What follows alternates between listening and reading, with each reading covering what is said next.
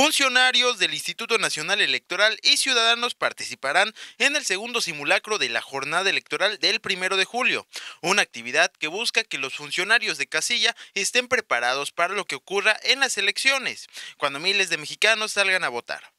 Los simulacros son considerados ejercicios para que los ciudadanos estén más preparados el día de la jornada electoral, sobre todo en las actividades que desempeñarán. Mire, soy capacitadora electoral del INE.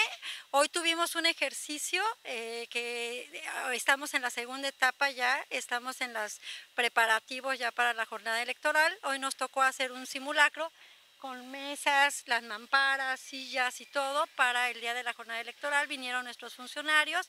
Es muy importante que sepan las actividades que van a tener ese día y por eso los citamos antes para, para que tengan su práctica aquí muchísima, porque aquí se disipan todas las dudas de cómo, cómo las actividades que van a tener, sus funciones que van a tener el día de la jornada electoral, eh, los protocolos que tiene el INE para hacer una apertura de casilla para los horarios de la votación, cierre de la, de la votación y el conteo de la votación, que es escrutinio y cómputo.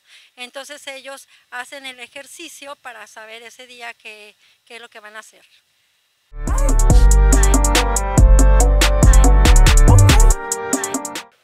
Mira, sí es muy importante, es básico porque nos enseñan a hacer todo tal como debe de ser y evitar incidentes y problemas el día de la elección. Pues nos ayuda la parte de la orientación y a saber, por ejemplo, cómo es toda la parte del escrutinio, el llenado de las actas, el tipo de incidencias que se podrían dar y cómo podríamos también nosotros apoyar a los ciudadanos para que ese día las votaciones se lleven lo mejor y con la más calma posible. ¿Qué tan importante? Pues muy importante. sí, sí es importante porque tenemos que saber qué se va a hacer en el momento de las votaciones y no llegar a cometer errores para pues que no nos cancelen la, la votación.